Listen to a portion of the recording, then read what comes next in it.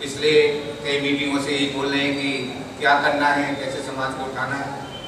संगठन और संघ का क्या मतलब होता है।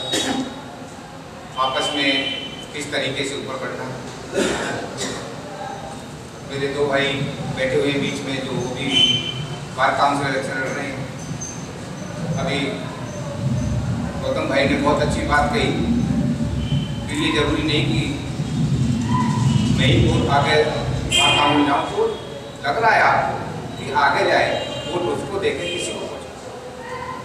पिछले दिनों से, पिछले इंसानों से हम भी कई लोगों को कोशिश करते रहे और लोगों को इकट्ठा करते रहे। अभी बात आई थी, सुरेश कहते थे, हमारा साथी था, हमारा कलश खुला था। पहले उसको भी बार काउंसिल इलेक्शन लाया, उसके बाद जस्टिस बने अच्छा लगा। आज अच्छी पोस्ट मेरा कहना इस समाज के लिए इतना ज़रूरी है कि जो कहा ना कि मैं ये करके दिखाऊँगा, ये करूँगा और वहाँ जाकर ये बनाऊँगा, ऐसा कुछ नहीं कर पाता कोई।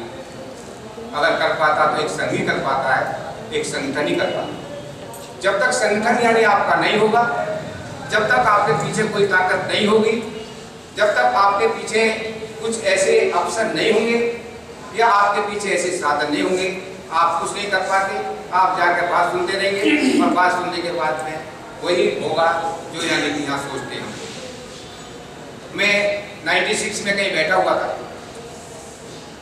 वहाँ अभी जो बात आई कि लोगों ने जीतने नहीं दिया या लोगों ने यानी बनने नहीं दिया, वो हमारे सामने आई तो बात कर रहे थे, भाई, ये श्रमक बार है।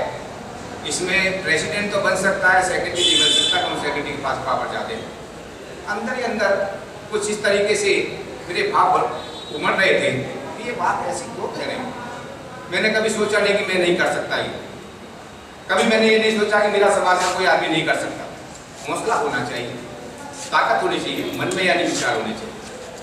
मैंने उस दिन सोचा था कि इस बार के अंदर 96 के अंदर, कि यहाँ मैं सेक्रेटरी बन के दिखाऊँगा। मैंने किसी को नहीं कहा था ये बात, लेकिन मैंने अंदर अंदर उस टेबल पर बैठे हुए काफ़ी बीस पच्चीस वकील थे। उनके बीच में मैंने अंदर अंदर सोचा था कि यहाँ सेक्रेटरी बन के दिखाऊँगा नाइन्टी में पहला इलेक्शन लड़ा, जिसमें मैं हारा। दूसरा यानी लड़ा फिर हारा, तीसरा फिर हारा तो तीसरा इलेक्शन जीता तो लड़ा, फिर हारा। लेकिन मैंने हार को चुनौती समझी, मैं उससे कुछ सीखा। मैंने कभी किसी अपने मेंबर को ये नहीं कहा कि मेरे इस मेंबर ने, इस आदमी ने, मेरे इस समाज ने मुझे वोट नहीं दी। मैंने उस समाज में ये देखा कि तेरी कहीं ना कहीं कोई कमी नहीं। और मैंने उस समाज में, उस समाज को जोड़ने के लिए फिर कोशिश करी, और चौथा इलेक्शन में 2003 में जीता। 2003 में इलेक्शन मुझे जिताने वाले थे। ब्राह्मण लोग ही जिताने वाले थे। किसी ब्राह्मण से ज़्यादा यानी परेशान हो गए थे। लेकिन उसके बाद जो दो इलेक्शन लड़ाए, उसमें मैंने ये देखा कि इस बार में कैसे सर्वाइव होगा, पर मैंने वो काम ढूंढे, जिन कामों से मेरी ताकत बन सकती थी और उन कामों को। करा सबसे पहले मैंने काम ढूंढा, चैम्बर की फ़ाइल निकलवाई। बयालीस करोड़ रुपये पास करवाए। पास करवाने के बाद में मैंने ये चैम्बर में बैठे हो। मल्टीस्टोरी पार्क बैठे हो, ये मैंने पहली बार फ़ाइल उठाई जिसमें झगड़ा भी हुआ था। महेश शर्मा के साथ झगड़ा इस बात पर हुआ कि पैसा खाने नहीं दूँगा। पैसा वकीलों के काम आएगा। और मैंने वो काम करके दिखाए तीन बार। आपके सामने सबके समय मैं किसी बात को नहीं करा, मैं तो इस बात कर रहा हूँ कि एक चुनौती मन में है। तो जगा लो उसको, और जगाने के लिए उसको एग्जीक्यूट करने के लिए तो संगठन बनाना पड़ेगा। संगठन से ही संघ बनेगा, संघ से ही संगठन बनेगा और संगठन से ही ताकत बनेगी। जब तक ताकत नहीं है, आप कुछ भी कह लो कि मैं वहाँ करके ये दिखा दूँगा, कोई कुछ नहीं करने देता। वहाँ भी पच्चीस आदमी है, एक आदमी कुछ नहीं कर सकता, लेकिन ये संगठन हमारा पीछे बहुत काम आता है, बहुत हमारी ताकत बनता है। हमारा एक कैट हाई कोर्ट में गया, उससे हमको अच्छा लगा, हमारा रास्ता खुला। हमारे चीफ जस्टिस ऑफ़ इंडिया बन के आए उनसे हमारे को सहारा मिला। आज रमेश भाई जो हमारे बने हुए जज बने। उनको शायद उनका होता हाई साथ बहुत ज़्यादा नाइंसाफ़ी करी। तो मेरा आप लोगों से कहना यही है कि किसी भी तरीके से पीछे मत रहो। अगर कोई आदमी यानी ये कहता है कि मैं आगे बढ़ूँगा, आगे बढ़ो, हम साथ हैं। और साथ रहे, हम किसी तरीके से पीछे नहीं रहे। और हमारा संगठन है धीरे धीरे बढ़ रहा है, बढ़ेगा आगे। तो आज लोग यानी कम हैं, कल ज़्यादा होंगे।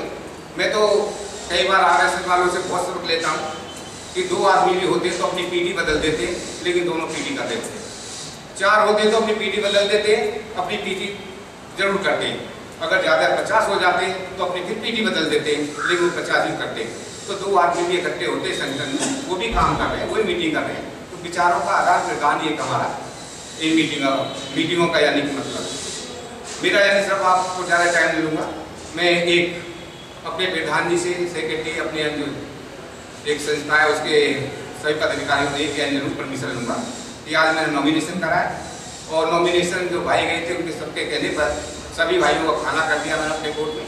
सभी भाई यहाँ से होने के बाद सब इन्वाइट है और मेरे जो पदाधिकारी वो भी सब इन्वाइट है सब वहाँ पे आए। धन्यवाद।